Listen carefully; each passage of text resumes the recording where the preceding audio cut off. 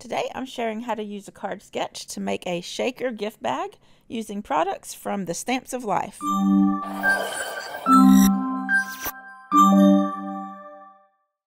Welcome to my channel. This is Kendra and today we have a collaboration hop featuring products from the Stamps of Life which is one of the new Kendra's Card Challenge 14 super sponsors this quarter.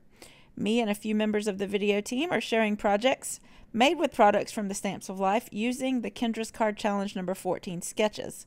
As I already mentioned, I'll be sharing how to make a shaker gift bag using sketch number 6, and this is a giveaway video hop, so stay tuned for details on how to enter and have a chance to win a digital download prize from me. The Stamps of Life sent us some goodies to create with, and these are the products that I'll be using for my project today. This is a stamp set called Wreath Words, and it's got some great sentiments that I know I'll be using again, especially the happy belated birthday, because for some reason I just can't get my cards out in the mail soon enough. But this is the Swirly Sun Fold-it Die Set. It's got several layers to cut out a sun I think it was designed to be a shaped card that will fit in a 5x7 envelope, so this is much larger than an A2 card, which is the size of the sketches in my challenge printable. So I'm going to have to make some adjustments for my project, but there's also some epoxy dots, a four pack. There's three different shades of orange plus some glitter dots. And then there's the 6x6 paper pad called Shine. It's double-sided paper with this um, it has some fun summary patterns, and I'll just quickly go through the rest of these patterns so you can see what's in here. I know it's a little difficult to see on camera, but there are stripes on some of these uh, solid looking colored ones. And then there are some solid papers, but I love that it has some pineapples and flamingos and palm trees in large and small. And then it also has some solid colors as well. And then this one has the word shine. Um, there's one that's bigger and then there's one that's smaller. And then we're back to the beginning. So I'm pretty excited to use this paper pad. It's super cute. Now, as I mentioned before, for this project, I'm using sketch number six from my current quarterly challenge number 14. I really wanted to use the sun die set, so I needed to make a project that would be big enough to where I could use it. And it just so happens that the KCC 14 Inspiration Hop over on Instagram is happening today, and this is where members are sharing bags and boxes that are inspired by the Challenge 14 sketches. So this worked out perfectly.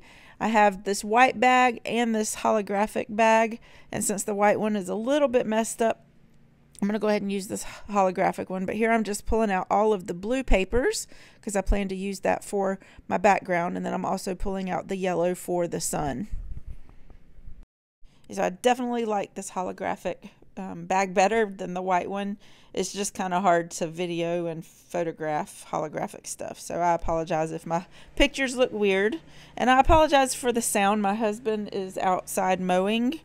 Um, I told him that he needed to leave so that I could do a voiceover. And of course, you know, he goes outside and fires up the lawnmower. Anyway, here I'm just cutting down the the um, strips here to measure one and an one and one eighth by five and a quarter. And then for the sun, I'm using these yellow papers, the solid one for the bottom or for the largest layer, the lighter for the middle layer, and then the one, the darker one with the stripes for the top layer.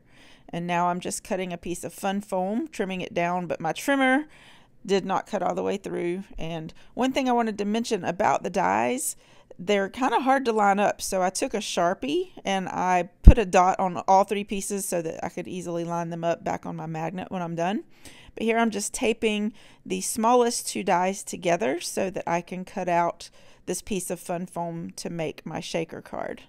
And here I'm just taking my scissors and cutting off um, just the end so I can run it through my smaller die cutting machine. So here I have uh, the pieces cut so now I'm just going to glue these pieces down onto this white cardstock and it does measure five and a half by eight and a quarter so that I have a border. But um, I'll go ahead and tell you how to enter the giveaway for this hop.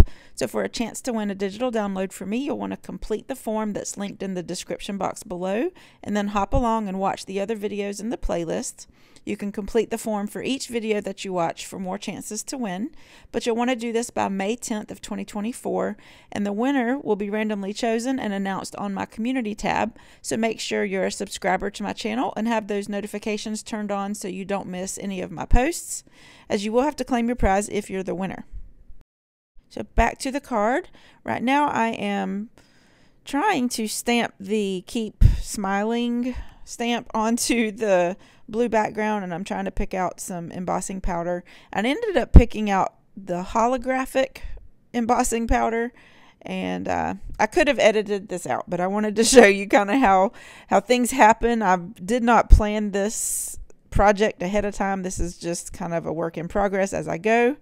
But I added some Versamark ink to that, and here I'm adding that holographic embossing powder and I didn't really think about it not showing up very well. I guess I thought that it would it would show up. I don't know. I should have stamped a darker color behind it, but I didn't. So here you can see that I'm trying to evenly heat this up and yeah, you can see what it says when you tilt it, but it's definitely not dark enough. So um, putting it back into my stamping positioner and I tried to add some Versamark uh, Nocturne ink on top and I dried it just a little bit with my heat tool and then I decided to set that aside to dry while I glued down each of the pieces or the layers for the sun.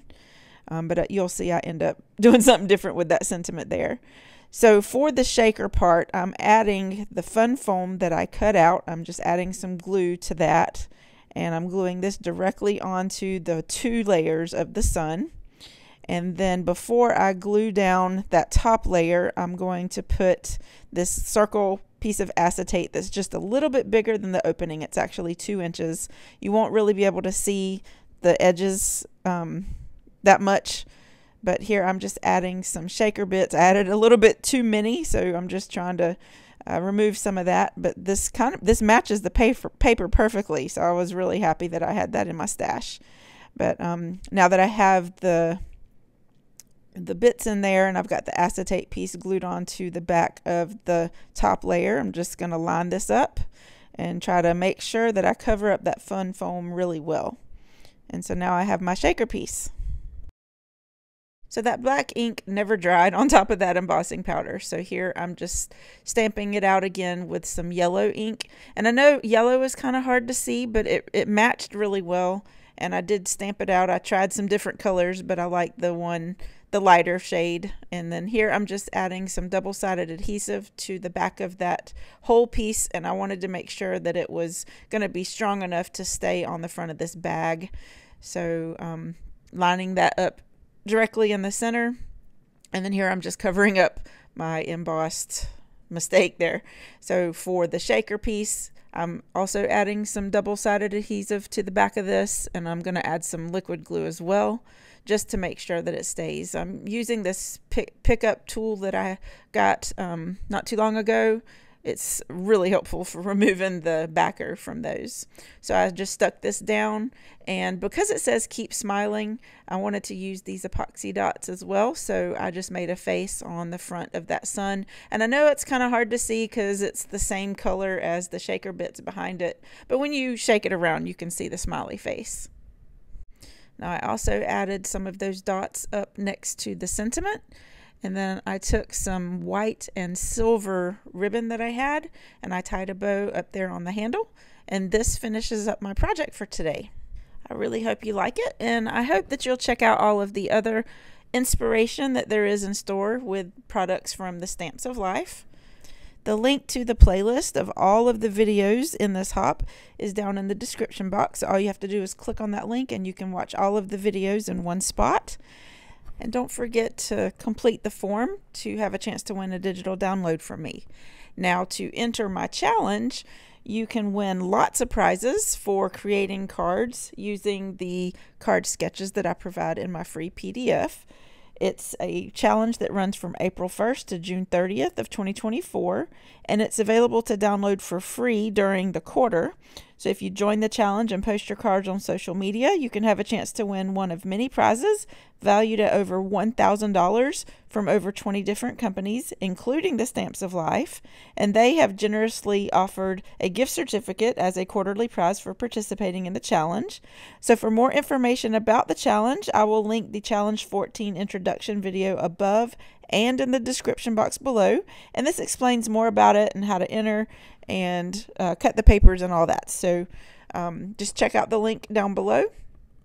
I hope you'll join us on the challenge. It really is a lot of fun.